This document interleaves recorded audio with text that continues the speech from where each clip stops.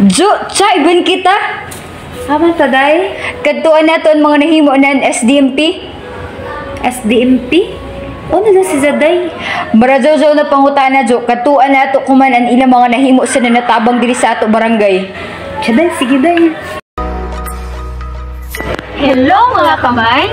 So dari kami kuman nag-andam para amo kadtuan ang mga nahimo ug natabang ng SDMP. Tsa! Mag-iban ta! Marajaw Karajaw Adlay, hello mga kamains, tara na't samahan nyo kaming puntahan ang nagawa at natulungan ng SDMP o Social Development Management Project ng CTP Construction and Mining Corporation dito sa Barangay Adlay. Ngunit ano nga ba ang SDMP? Layunin ng SDMP na tumulong at lumikha ng responsable at self-reliant na komunidad na may kakayang bumuo, magpatupad at mamahala ng mga programa, proyekto at aktibidad na magpapaulad ng komunidad nito. Tara na at lakbayin ang naitulong ng SDMP sa sektor ng edukasyon. Malaki at kamanghamanghang suporta ang ipinakita ng SDMP pagdating sa edukasyon, tulad na lamang ng pagdaragdag ng classroom sa elementarya na nagkakahalaga lang naman ito ng 1.5 million at subsidy ng dalawang volunteer teacher at isang school guard na umabot ng 273,000 ang annual allocation nito.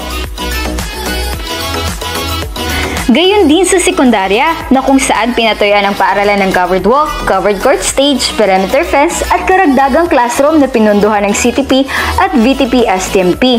Nagkakahalaga lang naman ito ng 8.4 million. Nakakalula pero kamangha-mangha. Nariyan din ang subsidy para sa mga volunteer teacher at school guard na umabot ng 176,000 ang total cost. Nagbigay din ng tulong ang SDMP sa sityo na Sipit Primary School.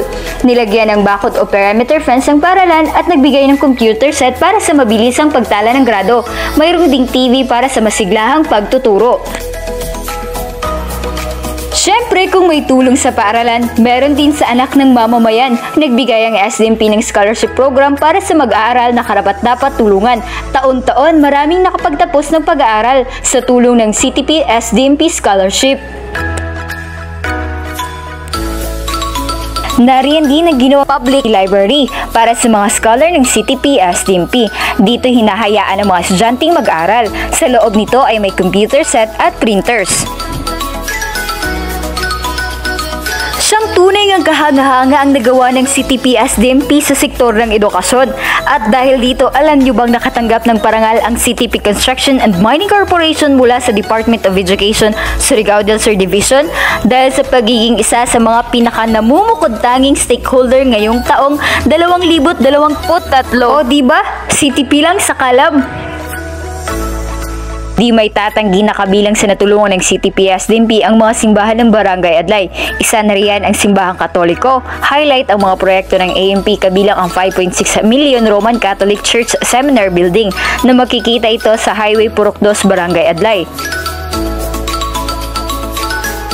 Di lang katoliko ang nabigyan ng tulong, kasama rin dito ang anim na non-Roman Catholic churches na kung saan natugunan ang kanya-kanyang pangangailangan. Credit nga pala sa larawang kuha mismo ng CTP SDMP. Dito naman tayo sa pangkabuhayan. Ito hindi to pahuhuli. Sa tulong ng CTPS, DMP, pinapalago nito ang mga pinagkukunan ng pagkain. Nariyan ang 2.3 million rice mill na may mechanical flatbed dryer para sa hugpong mag-uuma ng Habujo. Dahil dito, di na kailangan pang pumunta sa karating bayan upang magpagiling sapagkat narito na mismo sa ating barangay. Salamat sa tulong ng CTP SDMP.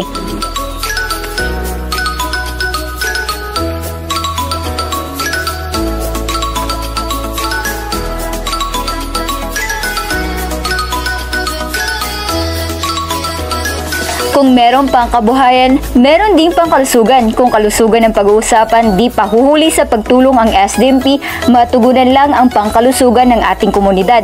Dito sa Barangay Health Center nakaimbak ang libreng bitamina at medisina para sa mamamayan ng Barangay Adlay. Kalinisan ang kailangan, sa tubig mo makakamtan upang magkaroon ng masaganang supply sa tubig sa loob ng komunidad ng Adlay, ang CTP Construction and Mining Corporation sa pamamagitan ng Social Development Management Program sa ilalim ng Adlay Mining Project ay naglaan ng halagang 2.4 million sa pag mapapa-improve ng barangay Adlay water system. Kung may tubig ka ngayon, baka SDMP yan. Kung taga-adlay ka o maradyaw kay masinati nim ini mga programa gikan sa CTP, SDMP, iba ng uban na mining, mahatagan lam ng karadyawan ang lumulupyo ng barangay Adlay.